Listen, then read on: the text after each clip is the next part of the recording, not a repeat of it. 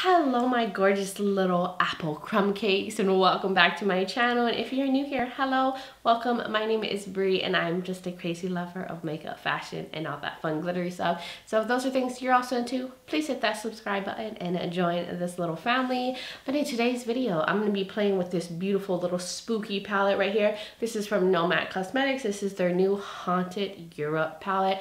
And I thought in today's video, I would create two looks, do some swatches, and let you know what I think about it. So if you are interested in seeing all of that, then keep on watching.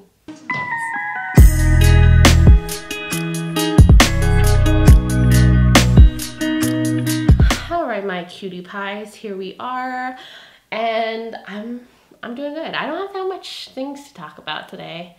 Nothing really going on. Not that interesting. I'm just having a very low-key, boring Saturday. But that's basically it. So let's get into this palette. So if you don't know about Nomad Cosmetics, they are a indie brand and they're all about like destination and travel. That's the whole theming around their brand.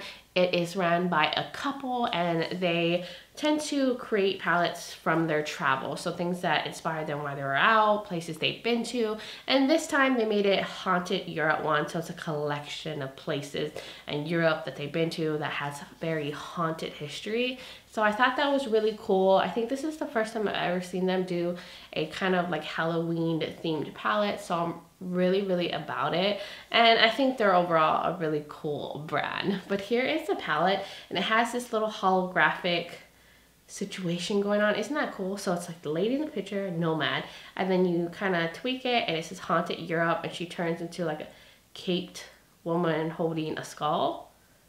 That is so cool and genius. Whoever created that did an amazing job. I could stare at that all day. And then this is what the back looks like.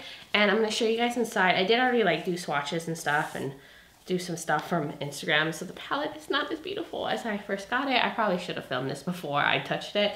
But the shades all had little imprints in them, like little bats and little coffins and stuff, but after doing my swatches, they kind of went away. But I just want you guys to see the colors. Beautiful. I like the variation in this.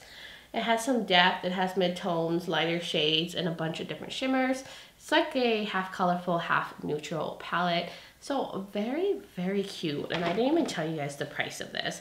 This goes for $44 and it is on pre-order on their website. So apparently there was a lot of demand for this palette and they ended up going out of stock when they released. I think that was Monday when they released this. It's Saturday when I'm filming this. But it is available for pre-order and it says they will start delivering in October. And another cool thing about this palette is they are also donating 5% of the sales to Bat Conservation International. That is so cool. Save the bats. We need the bats in our lives. So I think that's awesome. I love that they're donating to a uh, cause. And it describes this palette as a lavish 18 eyeshadow formula with extra fine pigments, nine ravishing mattes, nine picturesque shimmers inspired by the dark fairy tales of medieval Europe. And it's also infused with bilberry seed oil to help restore skin for crease-proof color cruelty free and vegan so we also love that. So that's everything about the palette the beautiful colors. I think it's a good time to now go and do some looks and then i can give you guys my thoughts and everything after i've played with it a little more and see what i think. So let's get into look number one Let's get into look number one. And I want to keep this neutral and maybe do like a pop of color on the bottom part. So I want to go into the shade right here. It's kind of a orangey brownie shade. And this is called a Span, Spandau? Citadel? I think that's how you pronounce that word. Um, some of these names are a little difficult for me to pronounce, but I will try my best. So I'm just going to just fluff that shade all through the crease as my transition shade. So I'm just going to use that all throughout and do that. Now, Nomad's mats are like more on the sheer side, but they are buildable and they are very blendable. They're just like a really silky, soft formula. So They're very forgiving, very easy mats to work with, especially if you're a beginner and high pigmentation scares you in mats. I would recommend Nomad Cosmetics formula for sure. I think that made a really nice transition. So I'm gonna take this little Real Techniques brush and I'm gonna go into this like deep kind of cool tone brown. It's called Dragsholm Castle. I think that's how you say it. and I'm just going to concentrate that on the outer corner just to deepen up this look and give some smokiness to it. I do wish that there was a black matte in here to like make the looks get really dark, but at least they have a deep brown. I can work with a deep brown. So I think that's good. I think everything is looking nice and blended. I want to now go in with like a shimmer shade on my lid, but I'm gonna put on some glitter primer really quickly and I'll be right back. Glitter primer is laid down and I'm gonna use the same brush I used the glitter primer with. This is a Kaleidos brush and I use the NYX glitter primer. Of course you could use any glitter primer, you could use concealer, um, you could just go in with a wet brush. You don't need to necessarily do this step. But I think I want to use one of the golds. I think maybe this one or maybe that one. No, I think I want to go with that one. They're kind of similar. One is a little more deeper. So I'm to go with Hoscow, Houska Castle, Hoscow, something like that. And I'm going to just spread that all on my lid. Oh yes, it's a nice bright gold metallic and it is just sticking really nicely to that glitter primer. Hmm, I like that. It's a nice warm goldy more nudie look. So now I want to use some green on the lower part. Like that little pop of green down there I think would look really pretty. So I'm going to take this pencil brush and I'm going to go into Grendel, this like deep foresty green and I'm going to run that all on the lower lash line. It's nice and pigmented. Oh, yeah, that has good pigmentation. It's going on really easily onto the lower lower lash line. Hopefully you guys can see what I'm doing. I just want to take that all on the bottom. Okay, that looks really good. That's a beautiful, nice, like deep foresty green matte. I want to use a little bit of Merry Cemetery in the inner portion just to add like a little bit of shimmer and just put that in the inner portion.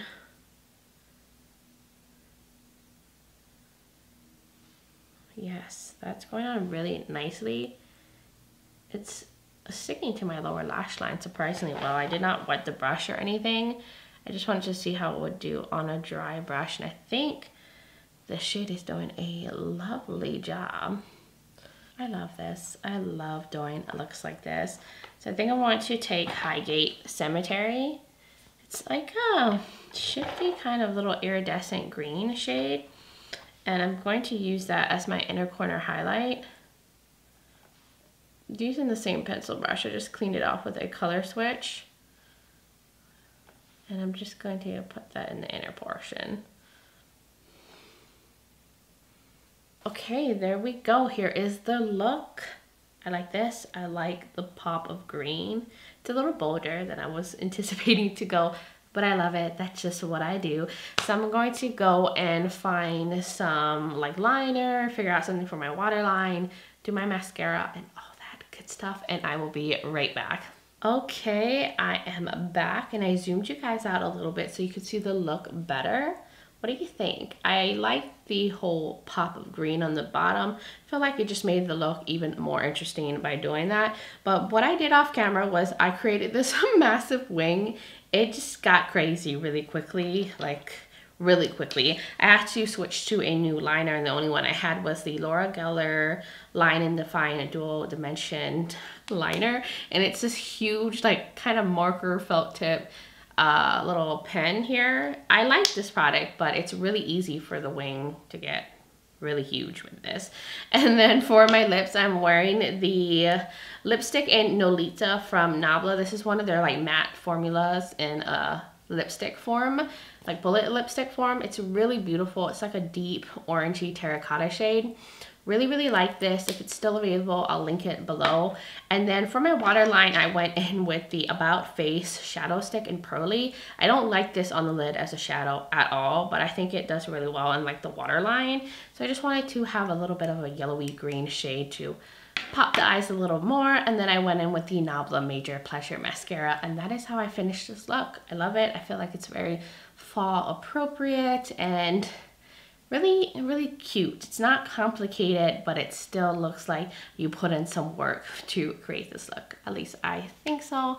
But that was it for look number one. Let's now get into look number two. Okay, so let's get into look number two. And I want to concentrate in the cool tone region. I think I want to use this shade right here, Catacombs, all over the lid. It has these beautiful little blue sparkles.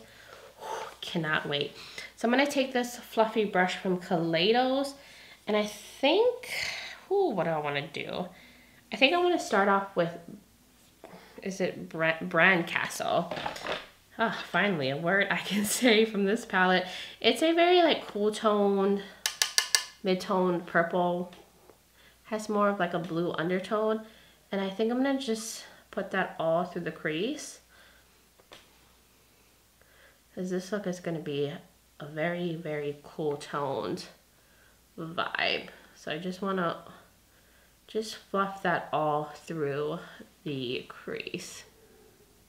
Okay, I think that looks really good in the crease. It's a more like bluishy, purpley, grayish mid-tone shade.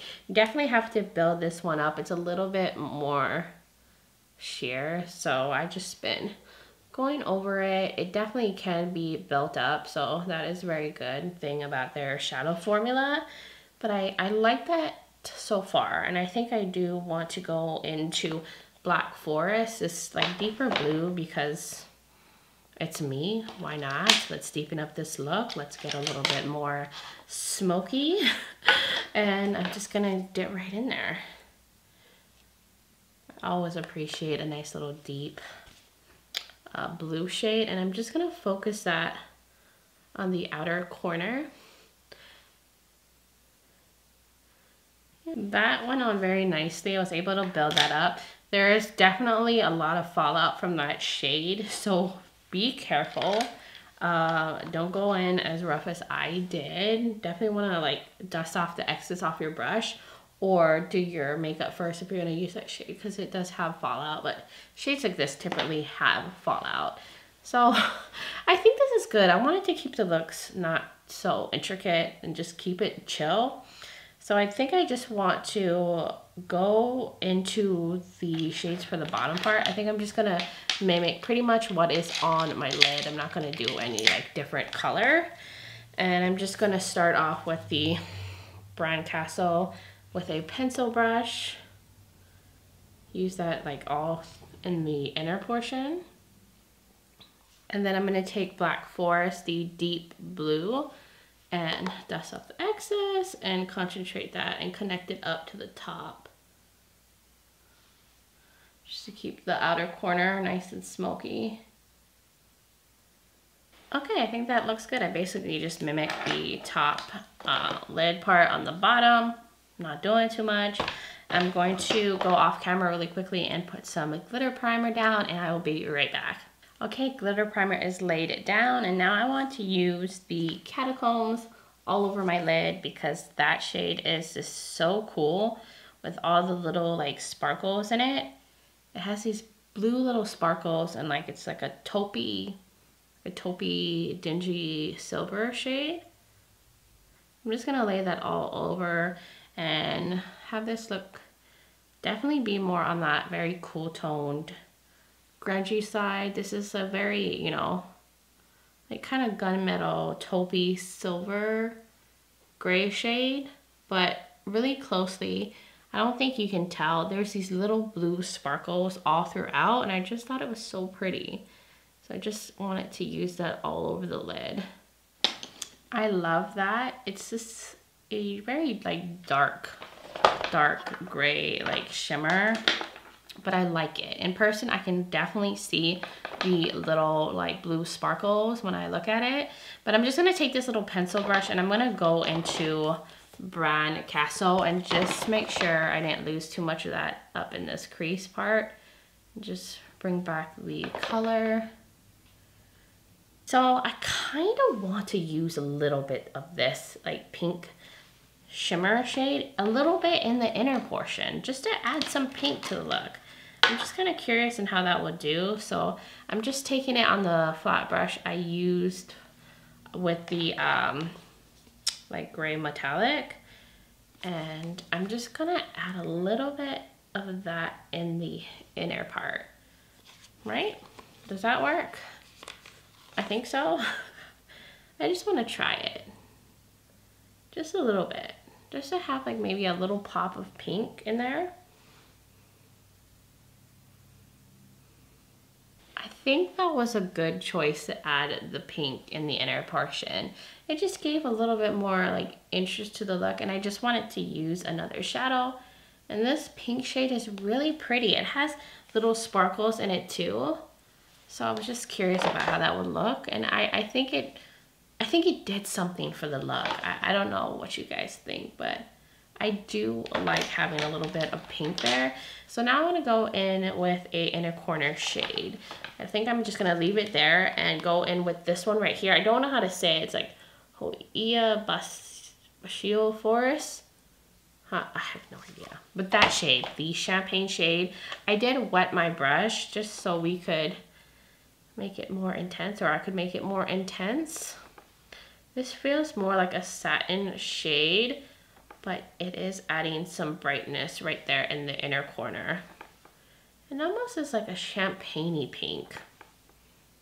Okay, I like this. I think it's fun.